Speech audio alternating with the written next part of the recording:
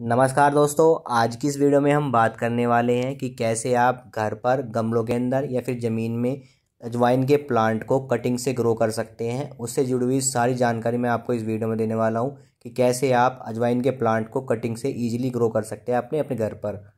तो देखिए दोस्तों, मेरे पास यहाँ पर एक अजवाइन का प्लांट है, जिसको मैंने यहाँ पे ज़मीन में लगाया हुआ था। और देखिए, इसकी ग्रोथ काफ़ी अच्छी हो रही है। एक मंथ का ही प्लांट है ये। एक मंथ में ही देखिए आपको इसकी ग्रोथ दिखाई दे रही होगी।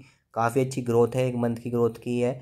अब मैं इसकी कटिंग लगाने वाला हूँ अपने गमलों के अंदर। तो कटिंग हमें किस तरह से सेलेक्ट करनी है? सिंपल कोई भी आप कटिंग ले सकते हैं, छोटी कटिंग, बड़ी कटिंग, जो भी आपको अच्छी लगे। इसमें ऐसा कुछ नहीं है कि दो इंची कटिंग रखनी, तीन इंची कटिंग रखनी है।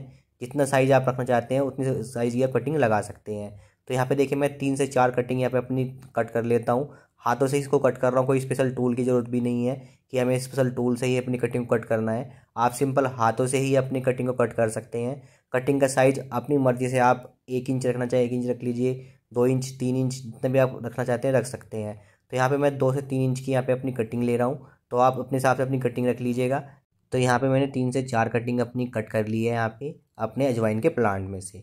अब इसको मैं अपने गमलों में लगाने वाला हूँ। तो गमलों में लगाने के लिए गमलों का साइज़ आपको क्या रखना है? आपको अजवाइन के प्लांट की कटिंग को लगाने के लिए गमले का साइज़ छः इंच से लेकर बारह इंच तक आप गमले का साइज़ रख सकते हैं। और ध्यान रहे पोर्ट्स के अंदर हमारा ड्रेनेज ऑयल होना चाहिए। अब देखिए, मैंने गमले के अंदर पहले ही सोइल मिक्सर फिल कर लिया है। सोइल मिक्सर को, आपको कोई ऐसा एक्स्ट्रा सोइल मिक्सर नहीं बनाना है। सिंपल गार्डन सोइल भी आप रख सकते हैं। अदरवाइज़ आप सिक्सटी परसेंट गार्डन सोइल रख लीजिए, ट्वेंटी परसेंट आप कोकोपीट रख लीजिए और ट्वेंटी परसेंट आप सैंडी सोइल रख लीजिए। तो वही मिक्सर मैंने अपने गमले के अंदर रखा है।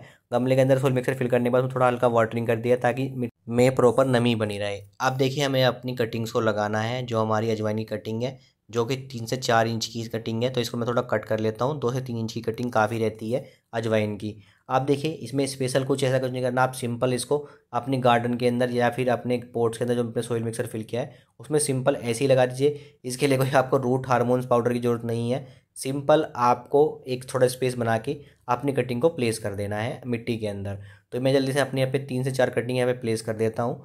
और देख कटिंग प्लेस करने के बाद अब हमें इसे रखना है साइडेड एरिया में नहीं दो से तीन दिन तक हमें इसको सेडी डेयर में रखना है। उसके बाद हमें इसको डायरेक्ट सनलाइट में रख देना है। डायरेक्ट सनलाइट में क्या होगा? इसकी जो कटिंग की ग्रोथ है वो काफ़ी अच्छी रहेगी। तो अब मैं अपने गमले को दो दिन के लिए सेडी डेयर में रखूँगा और फिर इसको डायरेक्ट सनलाइट में रख दूँगा। और फिर कुछ दिनों बाद इसकी मैं आपको अपडेट दिखाने वाला हूँ। तो देखिए दोस्तों, आज अजवाइन की कटिंग को लगे हुए पूरे दस दिन हो चुके हैं और दस दिन की अपडेट मैं आपको दिखा रहा हूँ। और देखिए एवरी कटिंग यहाँ पे मेरी सक्सेसफुली वर्क कर रही है। उनमें लीव बनना स्टार्ट हो चुकी हैं।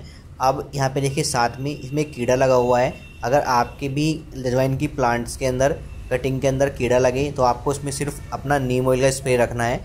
नीम ऑयल के स्प्रे से जो आपको कीड़ा लगाया आपके प्लांट्स में या आपकी जो कटिंग के अंदर, वो आपका मर जाएगा, उसका दूर रहेगा। तो ये मेनली बात थी कि कैसे आपको जोनी कटिंग को ग्रो करना है, उसको कैसे आपको लगाना है अपने घर में गमलों के अंदर।